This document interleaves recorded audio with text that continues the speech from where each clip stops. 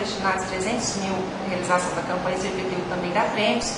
Campanha essa que iniciou o ano passado com 200 mil destinados à premiação e tivemos um balanço muito positivo ano passado, com 25% de incremento nas receitas do município.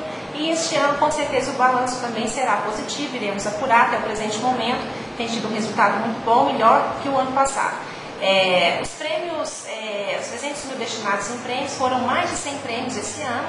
Ontem, o último sorteio realizado no hall de entrada da Prefeitura, foram 26 prêmios, sendo quatro fogões, quatro geladeiras, quatro microcomputadores completos, cinco motocicletas 150 cilindradas, cinco marcas de lavar e o carro zero quilômetro.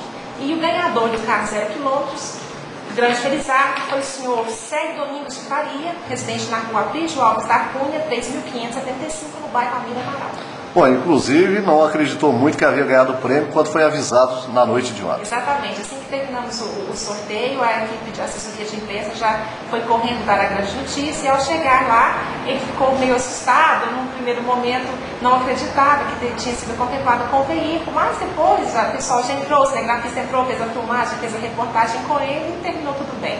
No próximo ano, a campanha volta a acontecer? Ainda vamos analisar, Sanadelli. Posteriormente divulgaremos.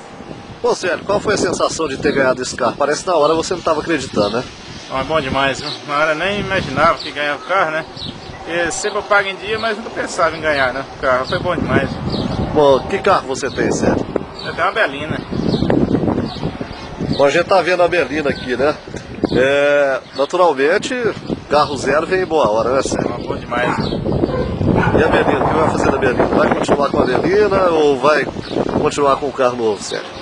Ué, o carro é muito melhor que a Belina, né? Vamos ver o que acontece aí, né? Pode viajar, né, Sérgio? Pode viajar. Né? Bom, você é proprietário de uma mercearia aqui no bairro Amira Amaral, né? Isso.